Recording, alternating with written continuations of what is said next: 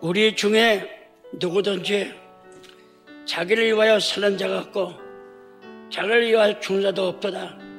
우리가 살아도 주를 위하여 살고 죽어도 주를 위하여 주나니 그러므로 살아 죽으나 우리가 주의 것입니다.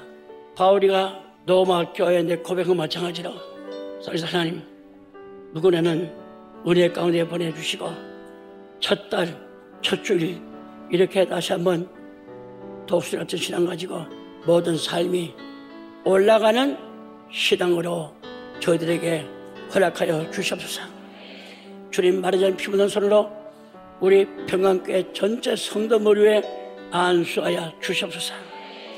이제는 또한 집중적으로 하나님 앞에 감사하고 말씀 듣고 찬송하고 기도하고 가정생활도 성실하게 맡겨진 사명에 남편은 남편 또 아내는 아내대로 사명을 다하는 역사가 있게 하여 주십사.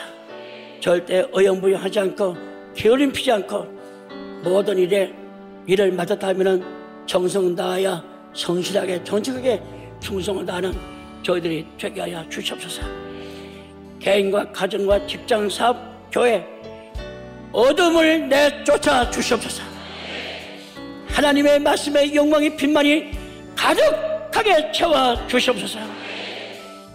우리 몸을 괴롭게 시장살 못하도록 또 이렇게 어둠의 역사 병마 주님 말하는 피 묻은 손으로 안수해 주시고 이 시간에 나사렛 예수 그리스도의 면허이 모든 질병아 우리 몸에서 나갈지어다.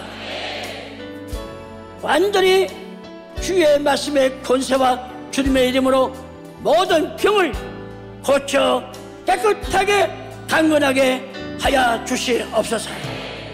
정말 예수 잘 믿기를 소원하고 성경 깨닫기를 소원하고 하나님 앞에 간절한 마음으로 집중적으로 정성 다하여 감사하면서 기도하는 은혜가 있게 하여 주시옵소서.